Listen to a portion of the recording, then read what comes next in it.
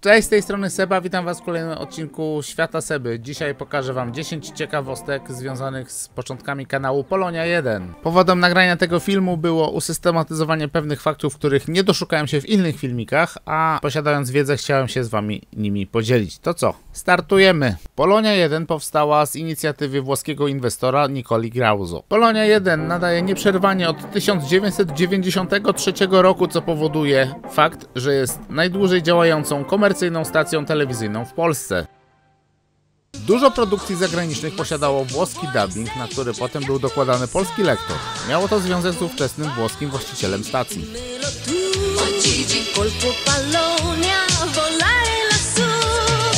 Na antenie Polonii 1 pojawił się program Power Dance, w którym promowano polską muzykę taneczną i takich wykonawców jak Jam Rose, Kasia Lessing, Daniel czy Covera.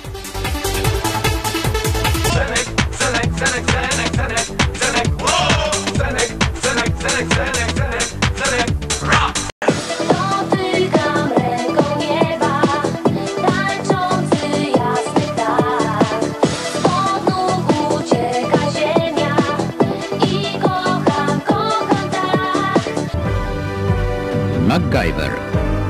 Polonia 1 jako pierwsza stacja w Polsce wyemitowała wszystkie sezony serialu MacGyver oraz Drużyna A. Program do 13 stacji nadawczych w Polsce był dostarczany na kasetach, gdzie o określonej porze każda z telewizji wciskała play. Dopiero jakiś czas potem wprowadzono dosył satelitarny.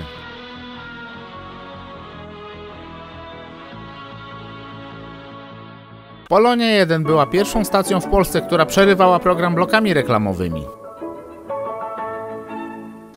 Polonia 1 jako pierwsza w Polsce wprowadziła dłuższe bloki bajek dla dzieci oraz emitowała anime. Złotą żyłę. Strzeże nas. Jest śmieszny, lecz i srogi. Odważny nasz wojownik Jatama La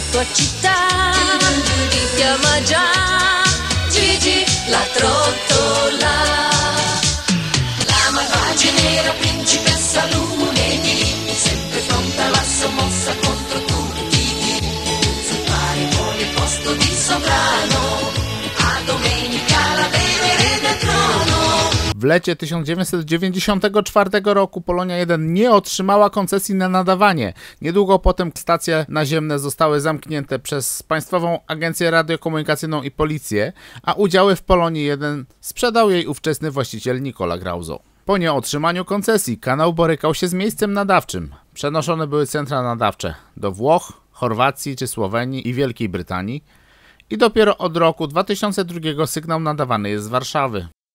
Od samego początku sygnał satelitarny programu Polonia 1 jest dostępny w systemie Free to Air z satelity Hotbird. To znaczy, że można odbierać go bez żadnego kodowania. I jeszcze ciekawostka bonusowa, a mianowicie na antenie Polonii 1 emitowany był program Escape, który jako pierwszy prezentował gry w sposób jaki znamy obecnie. To znaczy na ekranie pojawiała się akcja gry, a w tle pojawiał się lektor, który komentował poczynania z ekranu, ewentualnie opisywał na czym gra polega. Jeśli te ciekawostki Wam się spodobały, dajcie łapkę w górę, komentujcie, co byście chcieli jeszcze zobaczyć, czy w ogóle Wam się podobał ten sposób prezentacji. To na tę chwilę to wszystko. Pozdrawiam, ciao.